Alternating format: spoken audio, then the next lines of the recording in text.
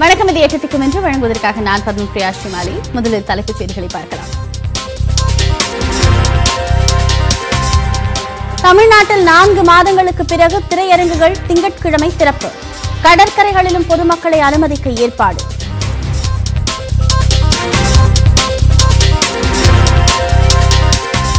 மணிப்பூர் ஆளுநராக தமிழக பாஜக மூத்த தலைவர் இல கணேசன் நியமனம். தமிழிசை சவுந்தரராஜன் மு க ஸ்டாலின் உள்ளிட்ட தலைவர்கள் வாழ்த்து.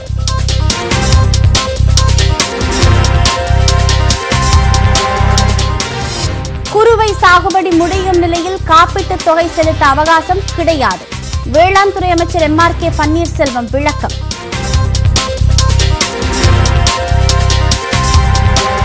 மாநிலங்களவை தேர்தலில் திமுக வேட்பாளராக எம் எம் அப்துல்லா அறிவிப்பு. போட்டியின்றி தேர்வாக வாய்ப்பு.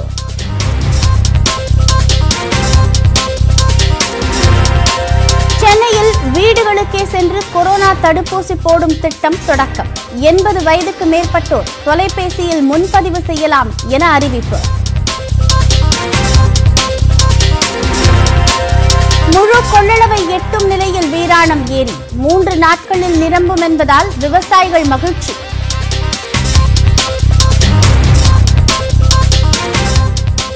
வளிமண்டல சுழற்சியால் பதினேழு மாவட்டங்களில் இடி மின்னலுடன் கனமழைக்கு வாய்ப்பு.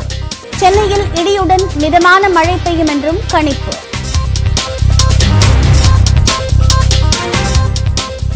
ஆப்கானிஸ்தானிலிருந்து நூற்றுக்கும் மேற்பட்ட இந்தியர்கள் தாயகம் வருகை இருபது ஆண்டுகளாக கட்டமைத்தவை அழிந்துவிட்டதாக நாடாளுமன்ற உறுப்பினர் கண்ணீர் सर आप जाएंगे अपने घर आप चिंता मत करिए आप जाएंगे ऐसा ऐसा कोई है காபூல் விமான நிலைய நெரிசலில் மேலும் ஏழு பேர் உயிரிழப்பு.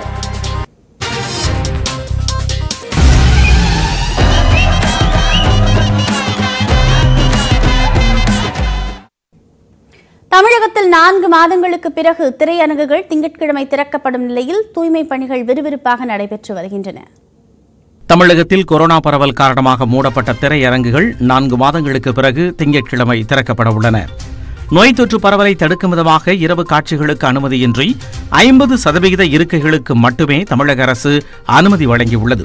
இதையடுத்து சென்னை திரையரங்குகளில் ஒரு இருக்கைக்கும் அடுத்த இருக்கைக்கும் நடுவே ஸ்டிக்கர் ஒட்டுவதுடன் கேண்டீன்களை சுத்தப்படுத்தும் பணியிலும் ஊழியர்கள் ஈடுபட்டனர். மால்களில் இருக்கக்கூடிய திரையரங்குகளையும் சுத்தப்படுத்தும் பணியும் மும்முரமாக நடைபெற்றது.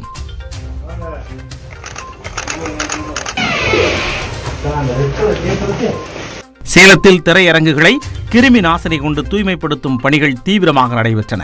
புதிய படங்கள் ஏதும் ரிலீஸ் ஆகாததால் கர்ணன் சுல்தான் ஆகிய படங்களை திரையிட திரையரங்கு உரிமையாளர்கள் திட்டமிட்டுள்ளனர். ஆனால் படங்கள் புது படம் எதுவும் இல்லாதனால நாளைக்கு என்ன பண்ணுறாங்க என்னத்தெல்லாம் கலந்து பேசி இவங்க தேட்டருக்காரங்க முடிவு எடுப்பாங்க ஓனருங்க. இது புது படம் வந்தால் கொஞ்சம் நல்லாயிருக்கும் ஐம்பது பர்சன்ட் மட்டும் அனுமதி அனுமதிச்சிருக்கிறாங்க.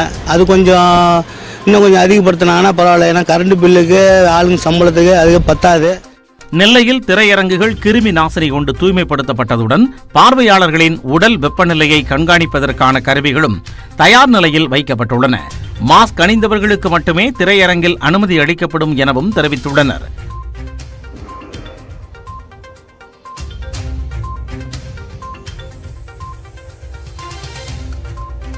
கோவையிலும் திரையரங்குகள் தயார்படுத்தப்படும் நிலையில் கேளிக்கை வரியிலிருந்து தமிழக அரசு விலக்கு அளிக்க வேண்டுமென திரையரங்க உரிமையாளர்கள் கோரிக்கை விடுத்துள்ளனர்.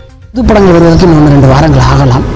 பட் பழைய படங்கள் ஓடிக்கொண்டு நிறுத்தணும் இல்லைங்க. அந்த படங்களை எல்லாம் மீண்டும் போடுறதாக முடிவு பண்ணியிருக்கோம். ஜனங்க வருவாங்க. கண்டிப்பாக என்டர்டெயின்மெண்ட் ட்ரேடுங்க கண்டிப்பாக ஜனங்க வருவாங்க. இப்போ கொஞ்சம் நாள் ஆகும் நினைக்கிறேங்க கன்னியாகுமரி திருச்சி மற்றும் மதுரை ஆகிய மாவட்டங்களிலும் திரையரங்குகளை சுத்தப்படுத்தும் பணி தீவிரமாக நடைபெற்றது.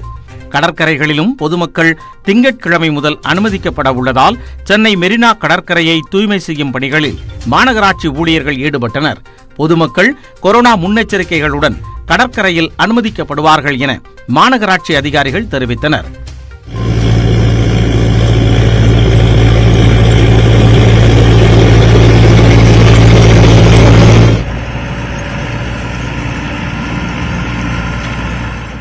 பொழுதுபோக்கு பூங்காக்களையும் திறக்க தமிழக அரசு அனுமதித்துள்ளதால் சேலத்தில் உள்ள அண்ணா பூங்காவை தயார்படுத்தும் பணி மும்முரமாக நடைபெற்றது.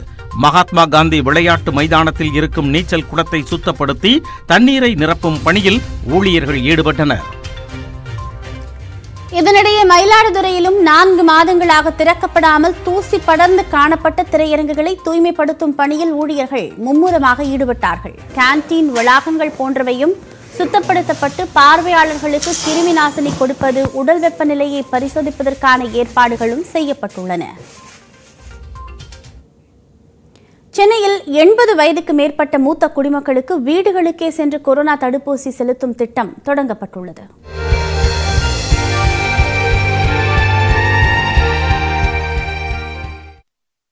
முன்னூற்று எண்பத்தி இரண்டாவது சென்னை தின கொண்டாட்டத்தையொட்டி மாநகராட்சி அலுவலகத்தில் பல்வேறு நிகழ்ச்சிகளுக்கு ஏற்பாடு செய்யப்பட்டிருந்தது. இதன் ஒரு பகுதியாக எண்பது வயதிற்கு மேற்பட்ட முதியவர்களுக்கு நேரடியாக வீடுகளுக்கே சென்று தடுப்பூசி போடும் திட்டத்தை அமைச்சர் நேரு தொடங்கி வைத்தார். இந்நிகழ்ச்சியில் இந்து சமய அறநிலையத்துறை அமைச்சர் சேகர் பாபு மாநகராட்சி ஆணையர் ககன்தீப் சிங் பேடி ரோட்டரி சங்க நிர்வாகிகள் உள்ளிட்டோர் கலந்து கொண்டனர்.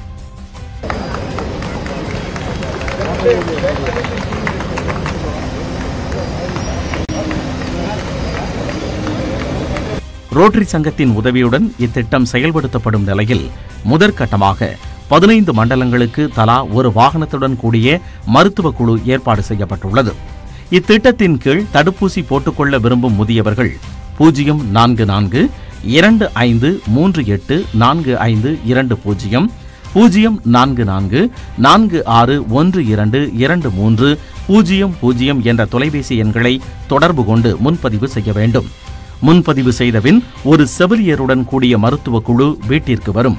தடுப்பூசிக்கு முன்பதிவு செய்தவர்கள் ஆதார் அட்டையை கட்டாயம் உடன் வைத்திருக்க வேண்டும். முதற்கட்டமாக பதினைந்து வாகனங்கள் ஏற்பாடு செய்யப்பட்டுள்ள நிலையில் தேவையை பொறுத்து கூடுதல் வாகனங்களுக்கு ஏற்பாடு செய்யப்படும் என மாநகராட்சி அறிவித்துள்ளது. இது தொடர்பாக செய்தியாளர்களிடம் பேசிய அமைச்சர் கே என் நேரு சென்னை மாநகராட்சிக்கு உட்பட்ட பகுதிகளில் ஒரு லட்சத்து அறுபதாயிரம் பேர் எண்பது வயதுக்கு மேற்பட்டவர்கள் என்றும் இதில் ஏற்கனவே தொண்ணூறாயிரம் பேருக்கு கொரோனா தடுப்பூசி போடப்பட்டுள்ளது எனவும் கூறினார்.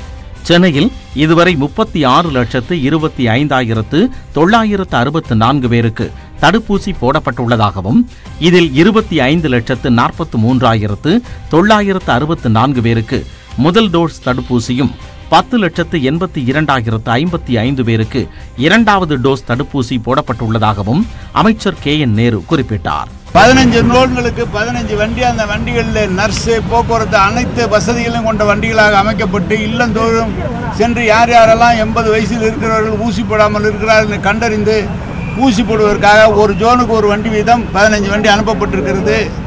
தேவைப்பட்டால் இன்னும் வண்டிகளை கூட தருவதாக இது முழுக்க முழுக்க ரோட்டரி கவர்னர் ரோட்டரியின் மூலமாக அவருடைய அம்பளிப்பாக அவருடைய செலவாக இந்த பணியை செய்திருக்கிறார்கள்.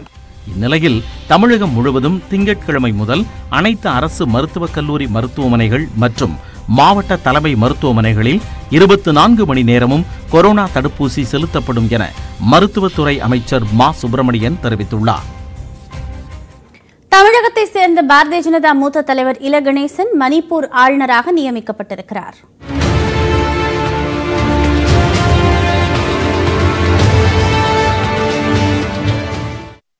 மணிப்பூர் ஆளுநராக இருந்த நஜ்மா அப்துல்லாவின் பதவிக்காலம் கடந்த இருபதாம் தேதியுடன் நிறைவு பெற்றது.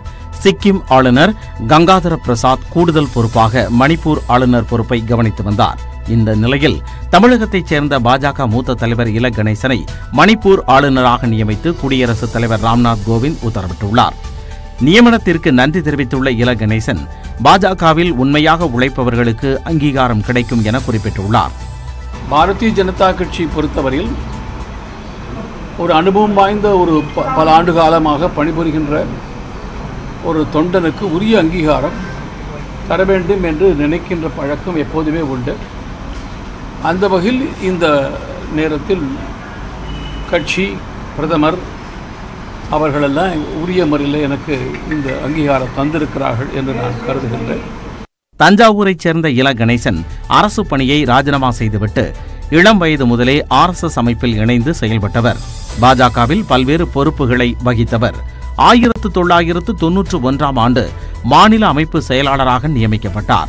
கட்சியின் வளர்ச்சிக்கு தொடர்ந்து பாடுபட்டதால் அடுத்தடுத்து பாஜக மாநில தலைவர் மற்றும் தேசிய துணைத் தலைவர் பதவிகளையும் பெற்றார். இரண்டாயிரத்து ஒன்பது இரண்டாயிரத்து பதினான்கு மக்களவைத் தேர்தல்களில் தென்சென்னை தொகுதியில் போட்டியிட்டு தோல்வியை தழுவிய இல கணேசன் இரண்டாயிரத்து பதினாறாம் ஆண்டு மத்திய பிரதேச மாநிலத்தில் இருந்து மாநிலங்களவை உறுப்பினராக தேர்வு செய்யப்பட்டார். ஆர்எஸ்எஸில் அவர் ஐம்பத்தி ஐம்பது வருஷத்துக்கு மேலே பொது வாழ்வில் இருக்கார். கவர்மெண்ட் சர்வீஸ் வேலையை விட்டுட்டு பொது வாழ்வுக்கு வந்து வந்தவர். அவர் ரெவன்யூ டிபார்ட்மெண்ட்டில் நேரம் டிப்டி கலெக்டராக ரிட்டையர் ஆகிருக்கார் வேண்டியது அதனால வே வேலைக்கு போகணும் போகக்கூடாதுங்கிறதுனால அவருடைய ஒரிஜினல் சர்டிஃபிகேட்லாம் கூட கிழிச்சு போட்டுட்டார். கிழிச்சு போட்டு சரி ஆர்எஸ்எஸில் ஜாயின் பண்ணிட்டார் ஆமாம் என்னென்ன சர்டிஃபிகேட்டில் இருந்தால் வேலைக்கே வேலைக்கு போகலான்னு ஒரு தோணும்.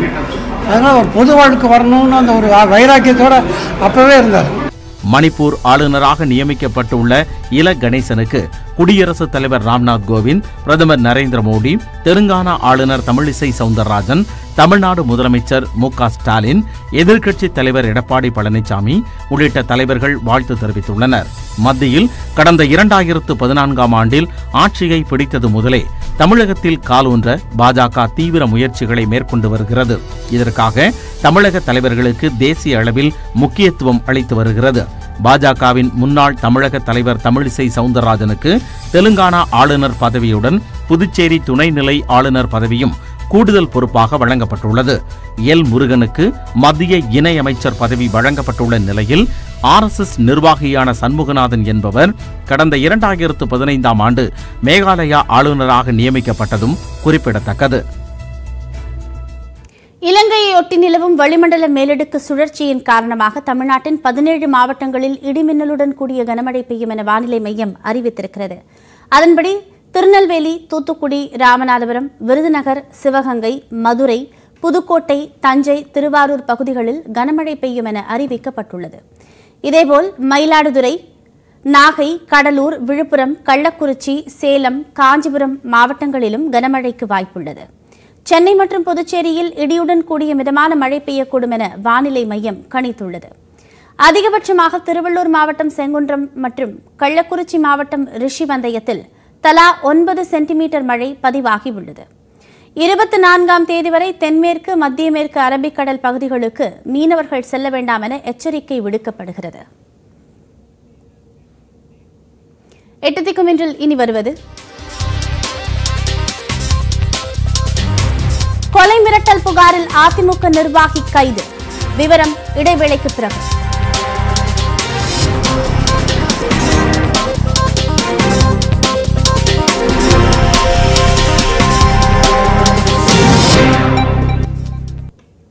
ஈரோடு மாவட்டம் கோபிச்செட்டிப்பாளையம் அருகே திமுக பிரமுகருக்கு கொலை மிரட்டல் விடுத்ததாக அதிமுக பிரமுகர் கைது செய்யப்பட்டு சிறையில் அடைக்கப்பட்டார்.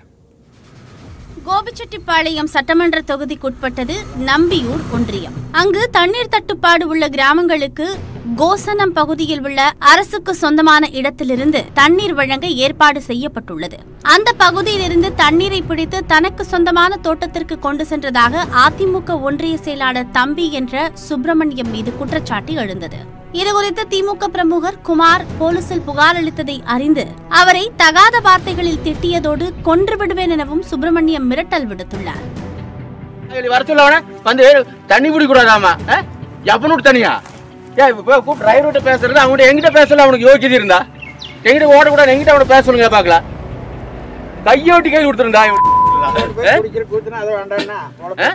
ஏன் குறுந்துளும் தண்ணி வருது அங்க அங்க அரசு இங்க நடக்கிறதா நல்லா கம்முன்னு இருக்கிற. தாங்க மாட்டாங்க. கொலை மிரட்டலுக்கான வீடியோ ஆதாரங்களுடன் சுப்பிரமணியம் மீது மாவட்ட காவல் கண்காணிப்பாளரிடம் குமார் புகார் அளித்தார். அதன் பேரில் கொலை மிரட்டல் தகராறில் ஈடுபடுதல் உள்ளிட்ட நான்கு பிரிவுகளின் கீழ் வழக்கு பதிவு செய்த போலீசார் சுப்பிரமணியத்தை கைது செய்தனர். தகவல் அறிந்து காவல் நிலைய வளாகத்தில் திரண்ட அவரது ஆதரவாளர்கள் சுப்பிரமணியத்தை விடுவிக்குமாறு கோஷங்களை எழுப்பினர்.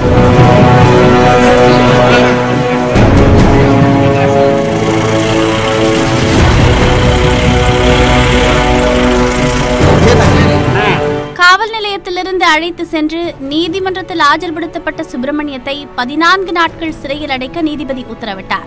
கோபிச்செட்டிப்பாளையம் மாவட்ட சிறையில் அடைக்கப்பட்ட அவரை முன்னாள் அமைச்சர் செங்கோட்டையின் சிறைக்குள் சென்று பேசி வந்தார். இனி விரைவு செய்திகள் சிலவற்றை பார்க்கலாம்.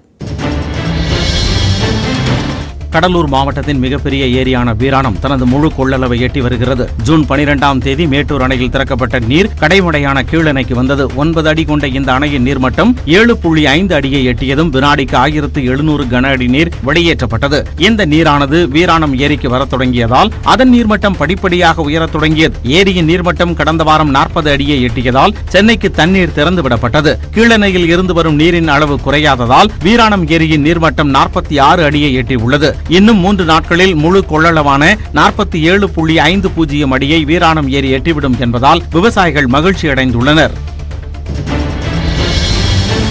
கர்நாடக அணைகளிலிருந்து நீர் திறப்பு அதிகரிக்கப்பட்டுள்ளதால் ஒகேனக்கல் காவிரி ஆற்றில் நீர்வரத்து வினாடிக்கு பத்தாயிரம் கன அடியாக அதிகரித்துள்ளது. காவிரி நீர்பிடிப்பு பகுதிகளில் பெய்த கனமழையால் கர்நாடக மாநிலத்தின் கபினி கேஆர்எஸ் அணைகளில் இருந்து மூன்று தினங்களுக்கு முன்பு தண்ணீர் திறக்கப்பட்டது. இதனால் ஒகேனக்கல் காவிரி ஆற்றில் நேற்று வரை ஏழாயிரம் கன அடி நீர் வந்து கொண்டிருந்த நிலையில் படிப்படியாக உயர்ந்து வினாடிக்கு பத்தாயிரம் கன அடியாக அதிகரித்துள்ளது. இதனால் மெயினருவி ஐந்தருவி சினிபால்ஸ் உள்ளிட்ட அருவிகளில் தண்ணீர் ஆர்ப்பரித்து கொட்டுகிறது.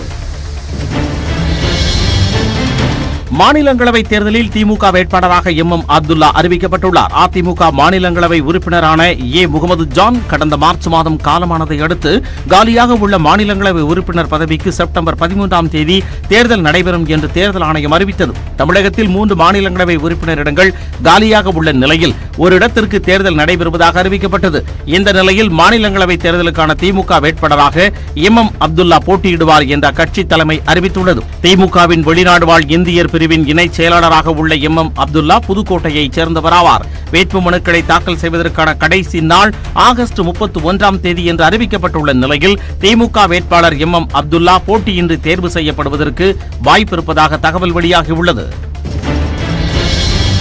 முதியோர்கள் மற்றும் மாற்றுத்திறனாளிகளுக்கு அங்கீகரிக்கப்பட்ட நபர்கள் மூலம் பொருட்களை வழங்கலாம் என்று உணவு பாதுகாப்புத்துறை அறிவுறுத்தியுள்ளது.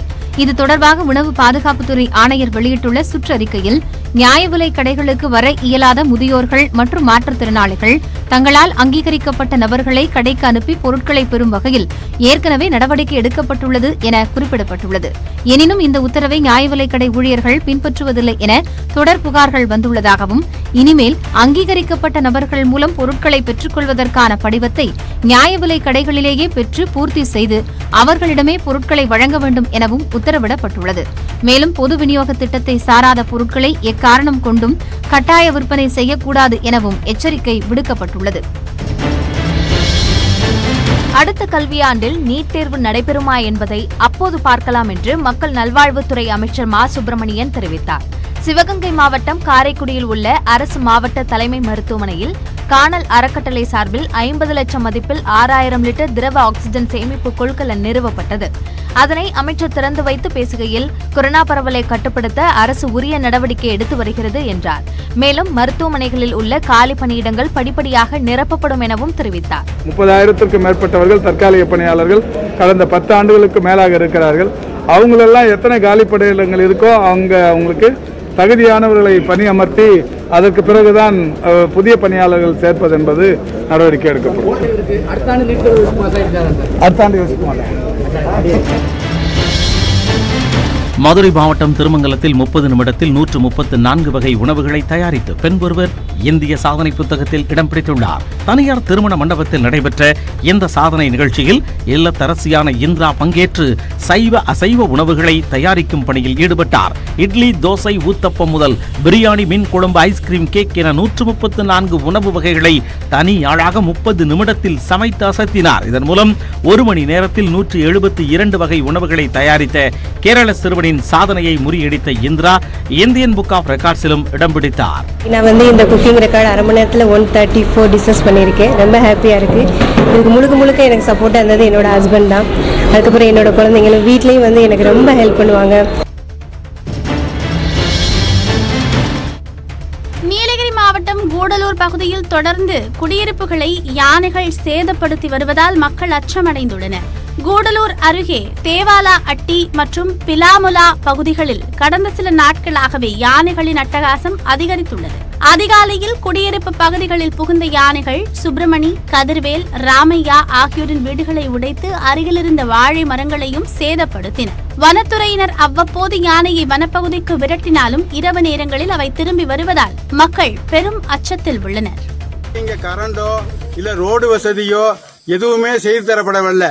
வர்றவங்கெல்லாம் ஓட்டு வாங்கிட்டு போகிறாங்க அதோட சரி அதுக்கு பிறகு யானை வந்தால் கூட எங்களை கொன்னா கூட கேட்கறதுக்கு இல்லை. வனத்துறை அதிகாரிகள் வந்து மக்களை வந்து மிரட்டிட்டு போயிடுறாங்க. வருமான வரித்துறை வலைதளத்தில் ஏற்பட்டுள்ள தொழில்நுட்ப கோளாறுகள் குறித்து விளக்கமளிக்க இன்போசிஸ் நிறுவன தலைமை செயல் அதிகாரி சலில் பரேக்கிற்கு மத்திய நிதி அமைச்சகம் சம்மன் அனுப்பியுள்ளது. வருமான வரி கணக்கு தாக்கல் செய்வதை எளிதாக்கும் வகையில் கடந்த ஜூன் மாதம் இ ஃபில்லிங் போர்ட்டல் எனும் புதிய வலைதளம் தொடங்கப்பட்டது. ஆரம்பத்தில் இருந்தே இந்த வலைதள செயல்பாடுகளில் பல்வேறு தொழில்நுட்ப கோளாறுகள் ஏற்பட்டு வருவதாக ஏராளமான புகார்கள் குவிந்தன. இந்த நிலையில் வலைதளத்தை வடிவமைத்து பராமரித்து வரும் இன்போசிஸ் நிறுவன தலைமை செயல் அதிகாரி சலீல் பரோக்கிற்கு நிதியமைச்சகம் சம்மன் அனுப்பியுள்ளது. அதன்படி இரண்டரை மாதங்கள் ஆகியும் கூட வலைதளத்தில் ஏற்பட்டுள்ள குறைபாடுகள் ஏன் சரி செய்யப்படவில்லை என்பது தொடர்பாக மத்திய நிதி அமைச்சர் நிர்மலா சீதாராமனிடம் விளக்கம் அளிக்க வரும்படி சம்மன் அனுப்பப்பட்டுள்ளது. உத்தரப்பிரதேச மாநிலம் பன்ஹாரியா எனும் கிராமத்தில் தாழ்த்தப்பட்ட சமுதாயத்தைச் சேர்ந்த ஒரு இளைஞரை மின்கம்பத்தில் கட்டி வைத்து சிலர் தாக்கிய வீடியோ இணையத்தில் வைரலாகி வருகிறது. மின்கம்பத்தில் கைகால்கள் கட்டப்பட்டு மயங்கிய நிலையில் இருக்கும் இளைஞரை சிலர் கால்களால் உதைக்கும் காட்சி வீடியோவில் பதிவாகி உள்ளது. அந்த கூட்டத்தில் ஒருவரின் கையில் துப்பாக்கி ஒன்றையும் வைத்திருக்கிறார். ஆதிக்க சமுதாயத்தைச் சேர்ந்த சிலர் இளைஞரை தாக்கியது தெரிய வந்த நிலையில் இதுகுறித்து காவல்துறை எந்த நடவடிக்கையும் எடுக்காததாக கூறப்படுகிறது. இதனிடையே இளைஞரை தாக்கிய வீடியோ இணையத்தில் வைரலான நிலையில் போலீஸ் தற்போது விசாரணையை தொடங்கியுள்ளது. பெற்றோர் மாணவர்களின் கோரிக்கையை ஏற்று வேளாண் பொறியியல் படிப்புகளுக்கான நுழைவுத் தேர்வு தேதி மாற்றப்பட்டுள்ளது. வேளாண் படிப்புகளுக்கான ஐசிஏஆர் ஏஐ ட்ரிபிள் இ தேர்வுகள் வரும் செப்டம்பர் ஏழு எட்டு மற்றும் பதிமூன்று ஆகிய தேதிகளில் நடைபெறும் என அறிவிக்கப்பட்டிருந்தது. ஆனால் செப்டம்பர் பதிமூன்றாம் தேதியில் நீட் நுழைவுத் தேர்வும் நடைபெறும் என அறிவிக்கப்பட்டது. இதனால் மாணவர்களுக்கு தேர்வில் பங்கேற்பதில் சிரமம் ஏற்படும் என்றும் இரண்டில் ஏதேனும் ஒரு தேர்வு தேதியை மாற்ற வேண்டும் என்றும் மாணவர்கள் பெற்றோர்கள் தரப்பில் தேசிய தேர்வு முகமைக்கு கோரிக்கை வைக்கப்பட்டது. இதை கருத்தில் கருத்தில் கொண்டு இளநிலை வேளாண் பொறியியல் படிப்புகளுக்கான நுழைவுத் தேர்வு செப்டம்பர் பதிமூன்றாம் தேதியிலிருந்து ஒன்பதாம் தேதிக்கு மாற்றப்பட்டுள்ளது. எனவே திட்டமிட்டபடி நீட் தேர்வு செப்டம்பர் பதிமூன்றாம் தேதி நடைபெறவுள்ளது அமெரிக்காவின் டெனிசி மாகாணத்தில் ஏற்பட்ட திடீர் வெள்ளத்தில் சிக்கி எட்டு பேர் உயிரிழந்தனர். ஏராளமான வீடுகளும் கார்களும் அடித்துச் செல்லப்பட்டன. அம்ஹ்ரீஸ் கவுண்டி என்ற இடத்தில் முப்பது பேர் காணாமல் போய் உள்ளதாக அந்த மாகாண காவல்துறையினர் தெரிவித்துள்ளனர். குறிப்பிட்ட ஹம்ப்ரேவில் மட்டும் ஒரே நாளில் நாற்பத்தி மூன்று சென்டிமீட்டர் மழை கொட்டி தீர்த்தது. மீட்புப் பணியில் பாதுகாப்புத்துறை அதிகாரிகள் ஈடுபட்டனர். சாலைகள் மூடப்பட்டன. பல இடங்களில் வீடுகளுக்கு மின்சாரம் மற்றும் தொலைத்தொடர்பு சேவை வழங்குவதில் சிக்கல் ஏற்பட்டுள்ளது. அங்கு கொட்டிய கனமழையால் நீர்நிலைகளில் தண்ணீர் பெருக்கெடுத்து ஓடியது. திரும்பும் திசையெல்லாம் கட்டிட கழிவுகளாக காட்சியளிக்கிறது. மழையால் ஏற்பட்ட திடீர் வெள்ளத்தால் வீடுகள் விளையாட்டு பொம்மைகள் போல அடித்துச் செல்லப்பட்டன. ஆஸ்திரேலியாவில் கொரோனா ஊரடங்கிற்கு எதிர்ப்பு தெரிவித்து நடந்த போராட்டத்தின் போது போலீசாருக்கும் போராட்டக்காரர்களுக்கும் இடையே மோதல் உண்டது மெல்போர்ன் மாகாணத்தில் அதிகரித்து வரும் கொரோனா பாதிப்பை கட்டுப்படுத்தும் விதமாக வரும் இரண்டாம் தேதி வரை அங்கு ஊரடங்கு அறிவிக்கப்பட்டுள்ளது. இதனால் வாழ்வாதாரம் பாதிக்கப்படுவதாக கூறி மக்கள் போராட்டம் நடத்தினர். அப்போது போலீசார் அமைத்திருந்த தடுப்புகளை மீறி உள்ளூர் மக்கள் போராட்டம் நடத்தினர். இதனால் போலீசுக்கும் போராட்டக்காரர்களுக்கும் இடையே சண்டை ஏற்பட்டது. நிலைமையை கட்டுப்படுத்த போலீசார் பெப்பர் ஸ்ப்ரேவை தெளித்து மக்களை விரட்டினர். அதிகளவில் குவிந்த மக்கள் வன்முறையிலும் ஈடுபட்டதால் அந்த இடமே போர்க்களம் போல காட்சியளித்தது. உடல் எடையை குறைத்து குஷ்பு வெளியிட்டுள்ள படங்கள் இணையத்தில் வைரலாகி வருகின்றன. கடின உழைப்பு பலனளிக்கும் போது கிடைக்கும் மகிழ்ச்சி விவரிக்க முடியாதது என குறிப்பிட்ட குஷ்பு தனது ட்விட்டர் பக்கத்தில் சில படங்களை பதிவிட்டிருந்தார். உடல் எடையை குறைத்து ஸ்லிம்பாக காட்சியளித்த குஷ்புவை கண்ட ரசிகர்கள் விதவிதமான கமெண்ட்களை இணையத்தில் பதிவிட்டு வருகின்றனர். இனி குஷ்பு இட்லியை எப்படி அழைப்பது என வருத்தமாக கேட்டுள்ள இணையவாசிகள் மத்தியில் குஷ்புவின் புகைப்படங்கள் அதிகமாக பகிரப்பட்டு வருகின்றன.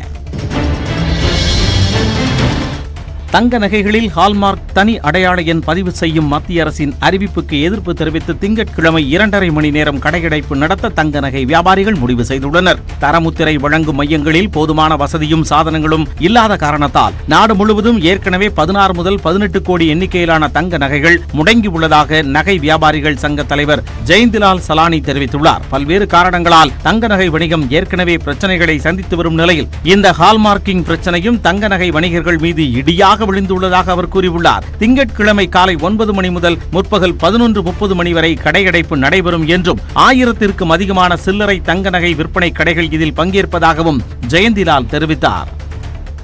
சிறிய இடைவெளிக்கு பிறகு செய்திகள் தொடரும்.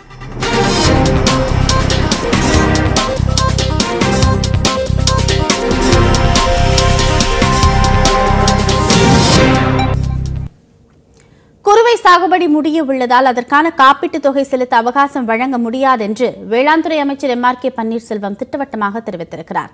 குறுவை சாகுபடி பயிர் காப்பீட்டு பிரீமியம் செலுத்துவதற்கான காலக்கெடு வருகின்ற முப்பத்தோராம் தேதியுடன் முடிகிறது. ஆனால் விவசாயிகளின் நலனை கருத்தில் கொண்டு மேலும் இரண்டு வாரங்களுக்கு கால அவகாசம் வழங்க வேண்டும் என பாமக நிறுவனர் ராமதாஸ் வலியுறுத்தினார். மேலும் விவசாயிகளுக்கு சுமை ஏற்படும் வகையில் அரசு முடிவெடுத்திருப்பதாகவும் சாடினார். இந்நிலையில் கடலூர் சுற்றுலா மாளிகையில் செய்தியாளர்களை சந்தித்த அமைச்சர் எம் ஆர் கே பன்னீர்செல்வம் குறுவை பயிர் பாதிப்புக்கு பேரிடர் மேலாண்மை நிதியிலிருந்து நிவாரணம் வழங்க முதலமைச்சர் ஸ்டாலின் ஆணையிட்டுள்ளதாக குறிப்பிட்டார். ஆனால் இதுவரை யாரும் இழப்பீடு கோரி விண்ணப்பிக்கவில்லை என்றார். மேலும் குறுவை சாகுபடியில் தற்போது நெல் அறுவடை செய்யப்பட்டு வருவதாகவும் அமைச்சர் கூறினார்.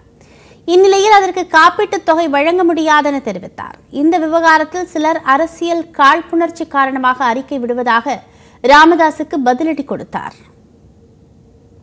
இன்னும் ஒரு பத்து பதினஞ்சு இருபது நாளில் குருவை பயிர் முடிந்துவிடும். ஆக மொத்தம் இப்போ இந்த இந்த சூழ்நிலையில் காப்பீடு தொகைக்கு பிரீமியம் கட்ட முடியுமா? முப்பத்தி ஓராம் தேதிக்குள்ள க பெ குருவை பயிருக்கு காப்பீடு கட்ட வேண்டும். ஆனால் இப்போ காப்பீடு கட்ட முடியாத சூழ்நிலை. அதனால் இது தவறாக ஒரு அரசு மீது வேணும் காழ்ப்புணர்ச்சி மீது இதை செய்கின்றார்கள். இப்போது இப்போ ச அடுத்த த த சம்பா பயிர்களுக்கு இன்சூரன்ஸ் ப- கட்டு பிரீமியம் க எவ்வளவு கட்டுவது என்று அறிவிக்கப்படும். அது நடைமுறை துவக்கப்படும். வடசென்னை அனல் மின் நிலையத்தில் இரண்டு லட்சத்து முப்பத்தெட்டு ஆயிரம் டன் நிலக்கரி காணாமல் போனதை அதிமுக ஆட்சியில்தான் கண்டுபிடித்தோம் என முன்னாள் அமைச்சர் தங்கமணி விளக்கம் அளித்திருந்த நிலையில் திமுக ஆட்சியில்தான் அதை கண்டறிந்தோம் என தற்போதைய மின்துறை அமைச்சர் செந்தில் பாலாஜி கூறியிருக்கிறார். இருவரும் மாறி மாறி முன்வைக்கும் குற்றச்சாட்டுகளை பார்க்கலாம்.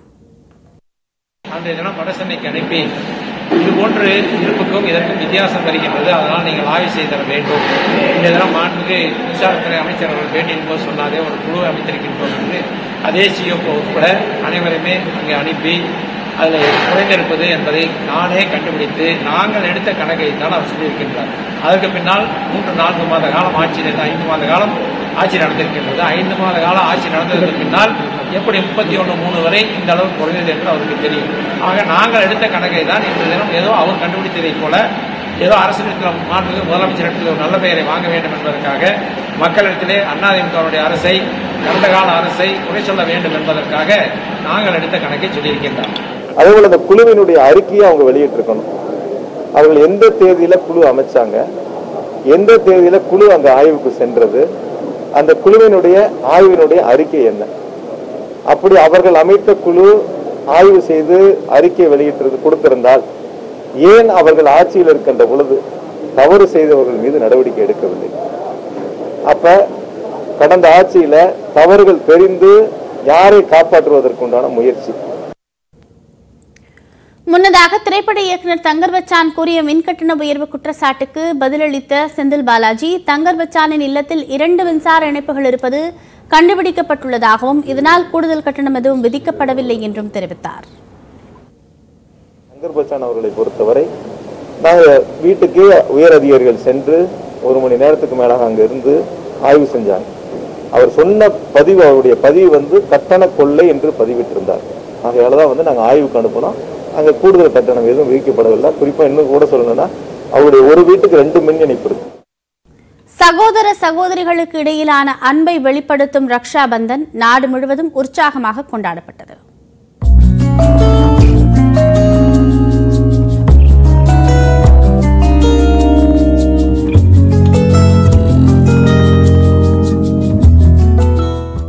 மாதம் பௌர்ணமி தினத்தில் கொண்டாடப்படும் ரக்ஷபந்தன் விழாவில் பெண்கள் தங்களது சகோதரர்களின் கைகளில் வண்ண கயிறுகளை கட்டி சகோதர உறவை புதுப்பித்துக் கொள்வர்.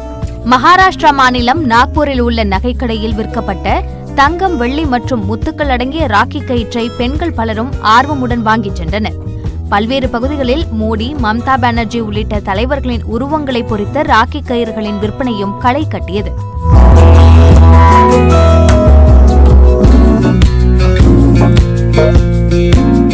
மத்திய பிரதேச முதலமைச்சர் சிவராஜ் சிங் சௌஹானிற்கு சிறுமி உட்பட பெண்கள் பலர் ராக்கி கட்டி திலகமிட்டனர். இதை ஏற்ற அவர் மகள்கள் மற்றும் தங்கைகளான அனைத்து பெண்களும் வளமுடனும் வலிமையுடனும் வாழ வேண்டுமென வாழ்த்தினார்.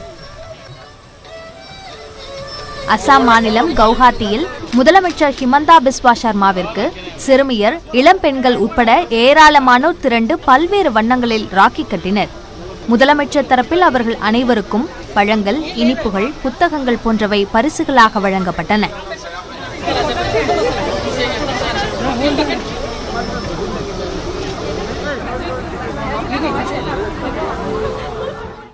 மும்பை மாநகராட்சி மேயரான கிஷோரி பத்னேக்கர் கொரோனா முன்கள பணியாளர்களுக்கு நன்றி தெரிவிக்கும் விதமாக மருத்துவ பணியாளர்கள் காவலர்கள் ஆகியோருக்கு ராக்கி கட்டி திலகமிட்டார்.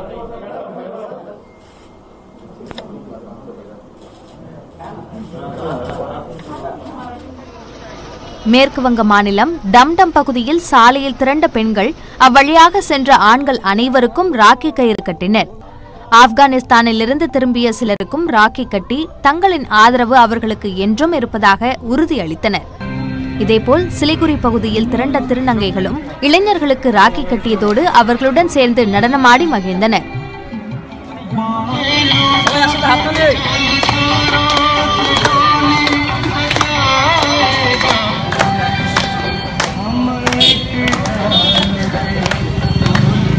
இதேபோல் பாட்னாவில் நடைபெற்ற நிகழ்ச்சியில் மரங்களுக்கு பீகார் முதலமைச்சர் நிதிஷ்குமார் ராக்கி கட்டினார்.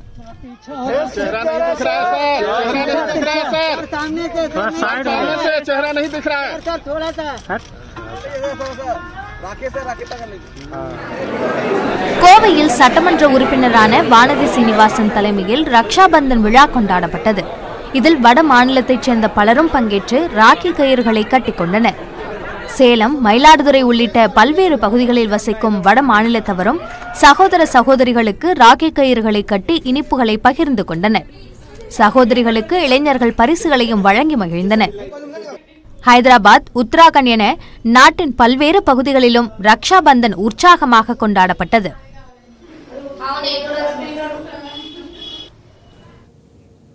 மறைந்த முன்னாள் உத்தரப்பிரதேச முதலமைச்சர் கல்யாண் சிங் உடலுக்கு பிரதமர் மோடி நேரில் அஞ்சலி செலுத்தினார். திறமையான தலைவரை இழந்துவிட்டதாகவும் பிரதமர் வேதனை தெரிவித்தார். உத்தரப்பிரதேச மாநில முன்னாள் முதல்வரும் பாஜக மூத்த தலைவருமான கல்யாண் சிங் காலமானார். அவருக்கு வயது எண்பத்து ஒன்பது. கடந்த ஜூலை மாதம் உடல்நலக் குறைபாடு ஏற்பட்டு அதனைத் தொடர்ந்து மருத்துவமனையில் அனுமதிக்கப்பட்டவர். சிகிச்சை பலனின்றி காலமானார். ஆயிரத்து தொள்ளாயிரத்து தொன்னூற்று ஒன்றாம் ஆண்டு முதல் தொன்னூற்று இரண்டு வரையிலும் ஆயிரத்து தொள்ளாயிரத்து தொன்னூற்றி ஏழு முதல் தொன்னூற்றி ஒன்பதாம் ஆண்டு வரையிலும் உத்தரப்பிரதேச மாநில முதலமைச்சராக கல்யாண் சிங் பதவி வகித்தார்.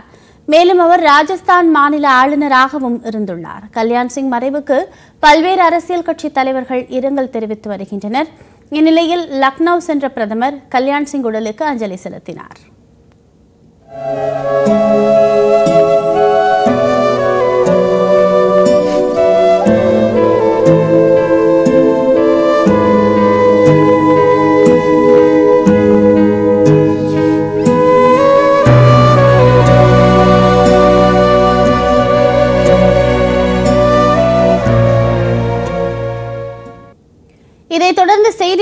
சந்தித்த பிரதமர் நாம் ஒரு திறமையான தலைவரை இழந்துவிட்டதாக கவலை தெரிவித்தார். கல்யாண் சிங்கின் கனவுகளை நிறைவேற்றுவதில் எந்த தடை கற்களும் இருக்கக்கூடாது என்று குறிப்பிட்ட பிரதமர் அவரது கொள்கைகளை நிறைவேற்ற பாடுபட வேண்டும் என்று கேட்டுக்கொண்டார்.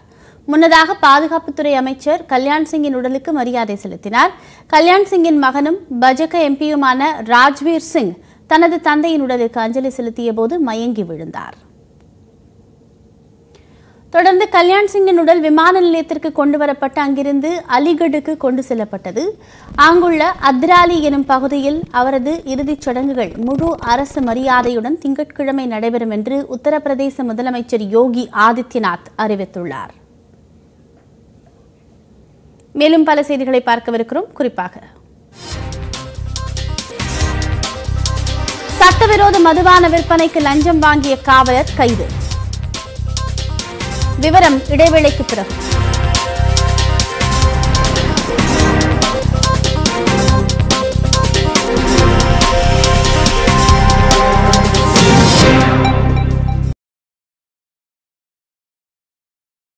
அருகே நான்காம் வகுப்பு மாணவி ஒன்பது சிறுகதை தொகுப்புகளை வெளியிட்டிருக்கிறார். இளம் வயதிலேயே கதை எழுதுவதில் அவருக்கு ஆர்வம் வந்தது எப்படி? சிறப்பு தொகுப்பில் பார்க்கலாம்.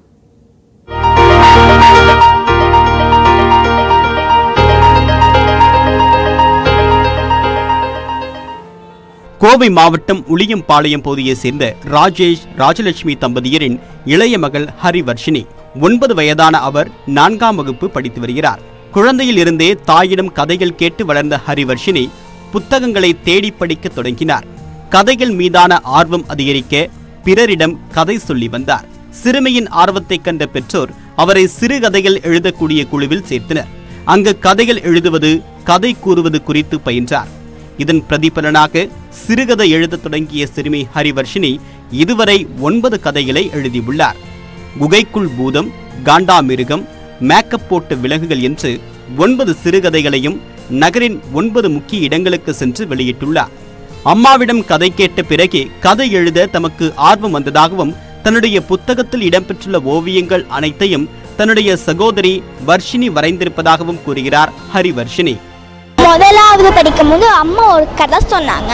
அந்த கதை தலைப்பு என்னென்னா வேடன் வந்தால் வலையை அந்த தானியங்களை தூவான் ஏமாந்து விடாதீர்கள் அப்படின்னு ஒரு கதை சொன்னேன். அதிலிருந்து ஆர்வம் வந்து தான் நான் கதை எழு கதை எழுதுறதோ கதை சொல்கிறதோ எனக்கு ஆர்வம் வந்துச்சு. எனக்கு வந்து நிறைய புத்தகங்கள் எழுதணும்னு ஆசை வந்துச்சு. அதனால் நீங்களும் வந்து புத்தகம் எழுதுங்க. நீங்களும் வந்து இவ்வளோ அளவுக்கு வாங்க. உங்களால் முடியும். முடியும்னு நினச்சி எது வேணால் சாத்தியம். தமது மகளுக்கு இளம் வயதிலேயே கற்பனை சக்தி அதிகம் இருந்ததாகவும் அதை நல்ல வழியில் கொண்டு செல்லவே கதை எழுத ஊக்கப்படுத்தியதாகவும் சிறுமியின் தாய் ராஜலட்சுமி தெரிவிக்கிறார். சின்ன வயசுல இருந்தே வந்து நம்ம இப்ப காருக்கு பின்னாடி உட்கார வச்சிருந்தா பார்க்கக்கூடியது எல்லாமே வந்துட்டு அந்த கேரக்டர் சிவ கூட பேசுற மாதிரி வந்துட்டு கற்பனை பண்ணி பேசுவான் ஒவ்வொரு கேரக்டர்ஸும் வந்துட்டு இப்ப காக்கா போச்சுன்னா அந்த காக்கா கூட இவ பேசுற மாதிரி பேசுவாள் பேசுவா. அப்பதான் எங்களுக்கு தெரிஞ்சிச்சோ இந்த பொண்ணுக்கு வந்து இந்த கற்பனை ஆற்றல் இருக்கு அதை வந்து நம்ம நல்ல வகையில கொண்டு போகணும்னு நினைச்சோம். அதுக்கு சரியான ஒரு பாதையும் அமைச்சு கொடுத்தவங்க. இன்னும் அதிக சிறுகதைகள் எழுத திட்டமிட்டிருப்பதாக தெரிவித்துள்ள சிறுமி ஹரிவர்ஷினி விரைவில் எழுத்தாளராக மாறுவேன் என்றும் நம்பிக்கை தெரிவித்துள்ளார். நியூஸ் எயிட்டின் தமிழ்நாடு செய்திகளுக்காக செய்தியாளர் சுரேஷ். இனி விரைவு செய்திகளை பார்க்கலாம். சென்னை எழும்பூரில் சட்டவிரோதமாக மதுபான விற்பனை செய்தவரிடம் லஞ்சம் வாங்கிய நுண்ணறிவு பிரிவு காவலர் இடைநீக்கம் செய்யப்பட்டுள்ளார். சென்னையில் கள்ளச்சந்தையில் மதுபான விற்பனை அதிகரித்ததைத் தொடர்ந்து அதனை கட்டுப்படுத்தும் நோக்கில் காவல் ஆணையர் தலைமையில் தனிப்படை அமைக்கப்பட்டது. இந்த நிலையில் எழும்பூர் காவல் நிலைய நுண்ணறிவு பிரிவு காவலர் குமுதநாதன் அண்மையில் கள்ளச்சந்தையில் மதுபானங்கள் விற்றவரிடம் இருநூறு ரூபாய் லஞ்சம் வாங்கிய வீடியோ வெளியானது. இதுகுறித்து காவல் ஆணையர் மேற்கொண்ட விசாரணையில் குமுதநாதன் லஞ்சம் வாங்கிவிட்டு கள்ளச்சந்தையில் மதுபானம் விற்பனை செய்தவர்களின் தகவல்களை காவல்துறைக்கு தெரிவிக்கவில்லை என்பது கண்டுபிடிக்கப்பட்டது. இதனைத் தொடர்ந்து குமுதநாதனை பணியிடை நீக்கம் செய்து சென்னை காவல் ஆணையர் சங்கர் ஜிவால் உத்தரவிட்டுள்ளார். ஆயிரத்தி தொள்ளாயிரத்தி எழுபத்தொன்று வரைக்கும் பாப்புலேஷனை வச்சு ஃபிக்ஸ் பண்ணிட்டு வந்தோம் ப்ரோரேட்டா பேசிஸில் இதை வந்து மத்திய அரசை பொறுத்தவரை ஒரு குழுவை போட்டு முடிவெடுப்பார்கள். அதற்கு முன்னாடி நாம் வந்து எவ்வளோ எம்பி இருந்தால் நல்லா இருக்கும் அப்படின்னு சொல்கிறது வந்து என்னை பொறுத்தவரை சரியான கருத்தாக இருக்காது. அதே போல் தமிழ்நாட்டில் சில தொகுதிகள் இருபது லட்சத்துக்கு இருக்குது சில தொகுதிகள் முப்பத்தி மூணு லட்சத்துக்கு போகுது. இந்த எல்லாத்தையும் கணக்கில் எடுத்து இலங்கை தமிழர்களுக்கான சிறப்பு முகாம்களை மூடி அவர்களை சுதந்திரமாக வாழ வழி செய்ய வேண்டும் என நாம் தமிழர் கட்சி ஒருங்கிணைப்பாளர் சீவான் வலியுறுத்தியுள்ளார். இது தொடர்பாக அவர் வெளியிட்டுள்ள அறிக்கையில் திருச்சி சிறப்பு முகாம்களில் உள்ள தங்களை விடுவிக்க கோரி இலங்கை தமிழர்கள் பட்டினி போராட்டம் நடத்தி வருவதை சுட்டிக்காட்டியுள்ளார். இதனை தீவிரப்படுத்தவே இருவர் தற்கொலைக்கு முயன்றதாகவும் இந்த செய்தி மனவேதனை அளிப்பதாகவும் அவர் கூறியுள்ளார். ஈழத்தில் இருந்த முள்வேலி முகாம்களுக்கும் தமிழ்நாட்டில் இருக்கும் சிறப்பு முகாம்களுக்கும் எந்த வேறுபாடும் இல்லை எனவும் சீமான் சாடியுள்ளார். சிறப்பு முகாம்களை மூடி அவர்கள் சுதந்திரமாக வாழ வழி செய்ய வேண்டும் எனவும் தமிழக அரசிற்கு கோரிக்கை வைத்துள்ளார். தமிழகத்தில் உள்ள கலை மற்றும் அறிவியல் கல்லூரிகளில் முதுகலை பட்டப்படிப்பில் சேர்வதற்கான விண்ணப்ப தேதி அறிவிக்கப்பட்டுள்ளது. அதன்படி ஆகஸ்ட் இருபத்தி மூன்றாம் தேதி முதல் செப்டம்பர் ஒன்றாம் தேதி வரை மாணவர்கள் தங்கள் விண்ணப்பங்களை சமர்ப்பிக்கலாம். W W W dot TNGASAPG dot in மற்றும் W W W dot TNGASAPG dot ORG என்ற இணையதளத்தில் விண்ணப்பங்களை சமர்ப்பிக்க அறிவுறுத்தப்பட்டுள்ளது. இணையதளம் மூலம் விண்ணப்பிக்க இயலாத மாணவர்கள் கல்லூரி உதவி மையங்கள் மூலமாக விண்ணப்பிக்க ஏற்பாடு செய்யப்பட்டுள்ளது. கல்லூரிக்கு விண்ணப்ப கட்டணமாக பொது பிரிவினருக்கு அறுபது ரூபாயும் எஸ்சி எஸ்டி மாணவர்கள் விண்ணப்ப கட்டணம் செலுத்தாமல் பதிவு கட்டணம் இரண்டு ரூபாய் மட்டும் செலுத்தினால் போதும் என அறிவிக்கப்பட்டுள்ளது. மேலும் விவரங்களுக்கு பூஜ்ஜியம் நான்கு நான்கு இரண்டு எட்டு இரண்டு ஆறு பூஜ்ஜியம் பூஜ்ஜியம் ஒன்பது எட்டு என்ற எண்ணில் தொடர்பு கொள்ளலாம் என கல்லூரி கல்வி இயக்குனர் பூர்ணச்சந்திரன் தெரிவித்துள்ளார். கன்னியாகுமரியில் தேசிய கடல்வள மேலாண்மை ஒழுங்குமுறை சட்டத்திற்கு எதிராக மீனவர்கள் ஆர்ப்பாட்டத்தில் ஈடுபட்டனர். மத்திய அரசு கொண்டுவர இருக்கும் தேசிய கடல்வள மேலாண்மை ஒழுங்குமுறை சட்டம் இரண்டாயிரத்தி இருபத்தொன்றுக்கு எதிராக தமிழகத்தில் பல்வேறு மீனவ அமைப்புகள் போராட்டம் நடத்தி வருகின்றன. இந்நிலையில் கன்னியாகுமரி மாவட்டம் சின்னவிளை கிராமத்தில் மீனவர் கல்வி மற்றும் வளர்ச்சி அமைப்பு சார்பில் மசோதாவிற்கு எதிர்ப்பு தெரிவித்தும் மத்திய அரசை கண்டித்தும் ஆர்ப்பாட்டம் நடைபெற்றது. ஆர்ப்பாட்டத்தை திமுக குமரி மாவட்ட செயலாளரும் முன்னாள் அமைச்சருமான சுரேஷ் ராஜன் தொடங்கி வைத்தார். சின்னவிளை பெரியவிளை மண்டைக்காடு உள்ளிட்ட ஒன்பது மீனவ கிராமங்களைச் சேர்ந்த பெண்கள் சிறுவர்கள் மீனவர்கள் என ஐநூறுக்கும் மேற்பட்டோர் ஆர்ப்பாட்டத்தில் கலந்து கொண்டனர். வார விடுமுறையை கொண்டாடுவதற்காக கொடைக்கானலில் சுற்றுலா பயணிகள் குவிந்தனர். குறிப்பாக வெளி மாவட்டங்களில் இருந்து அதிக அளவில் சுற்றுலா பயணிகள் வந்திருந்தனர். முக்கிய சுற்றுலா தலங்கள் திறக்கப்படாத நிலையில் கொடைக்கானல் நுழைவு வாயில் பகுதியில் அமைந்துள்ள வெள்ளி நீர்வீழ்ச்சி அருவியின் அழகை கண்டு ரசித்தனர். மேலும் ஏரி சாலையில் குதிரை சவாரி மற்றும் சைக்கிள் சவாரியும் மேற்கொண்டனர். சாரல் மழையால் நிலவும் குழுமையான சீதோஷ்ண நிலையை அனுபவித்தபடி சுற்றுலா பயணிகள் புகைப்படம் எடுத்து மகிழ்ந்தனர்.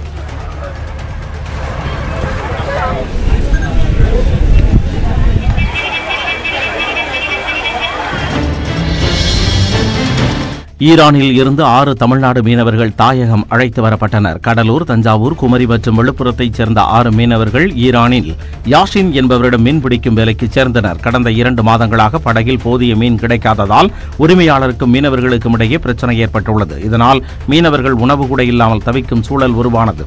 இது தொடர்பாக சர்வதேச மீனவர் அறக்கட்டளை வெளிநாடு வாழ் தமிழர் நல ஆணையத்திற்கு தகவல் கொடுத்தது.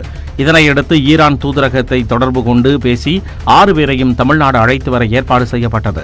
இதனையடுத்து ஆறு பேரும் சென்னை விமான நிலையம் வந்தனர். இவர்களை வரவேற்ற அதிகாரிகள் பாதுகாப்பாக சொந்த ஊருக்கு அனுப்பி வைத்தனர். ஈரோட்டில் அடகு கடை உரிமையாளர் ஆயிரம் சவரன் தங்க நகைகளுடன் தலைமறைவானதால் பாதிக்கப்பட்டவர்கள் முற்றுகை போராட்டத்தில் ஈடுபட்டனர். பெரிய வலசையைச் சேர்ந்த அசோக் குமார் மற்றும் சரவணன் அதே பகுதியில் ஆஞ்சநேயா என்ற பெயரில் அடகு கடை நடத்தி வருகின்றனர். இங்கு இருநூற்றுக்கும் மேற்பட்டோர் தங்களது நகைகளை அடகு வைத்துள்ளனர். ஆனால் கடந்த ஆறு மாத காலமாக கடையை பூட்டிவிட்டு உரிமையாளர்கள் தலைமறைவானதாக கூறப்படுகிறது. இந்நிலையில் பாதிக்கப்பட்ட நூற்றுக்கும் மேற்பட்டோர் கடையை முற்றுகையிட்டு அதன் உரிமையாளர்களில் ஒருவரான சரவணனை பிடித்து போலீசில் ஒப்படைத்தனர்.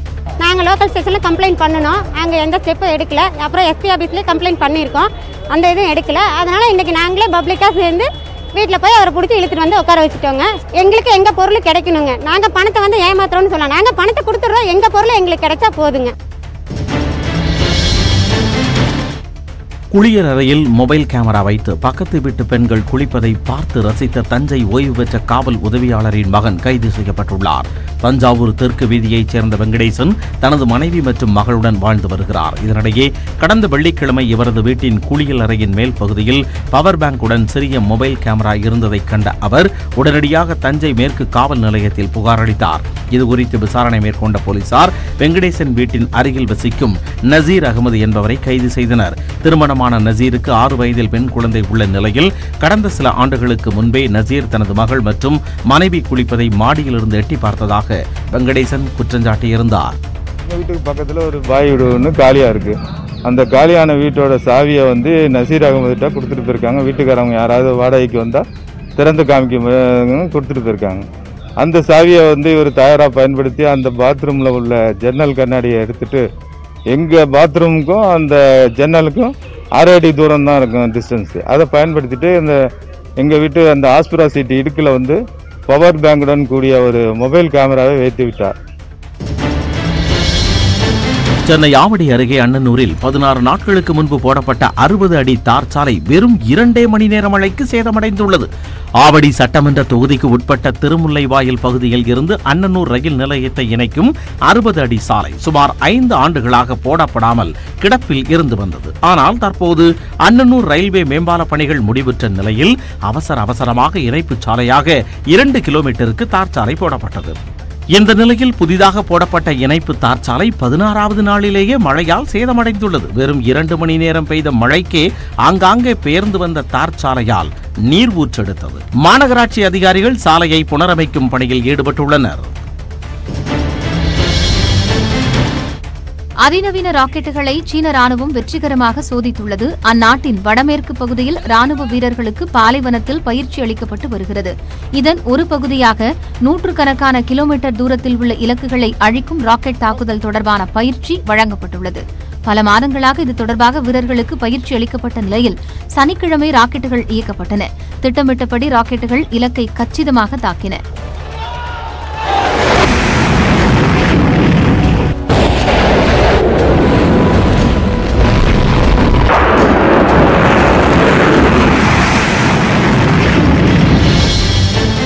நடிகை நஸ்ரியாவை அவரது கணவர் ஃபஹத் ஃபாசில் முதுகில் சுமந்து கொண்டு பயணம் செய்த வீடியோ ஒன்று இணையத்தில் கவனம் ஈர்த்து வருகிறது. இந்த வீடியோவை தனது இன்ஸ்டாகிராம் பக்கத்தில் நஸ்ரியா பதிவிட்டு ஏழாம் ஆண்டு திருமண நாள் வாழ்த்துக்களை தெரிவித்துள்ளார்.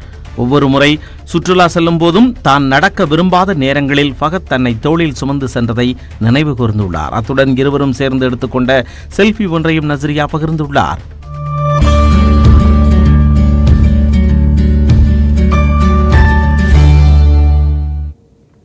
இடைவெளிக்கு பிறகு செய்திகள் தொடரும்.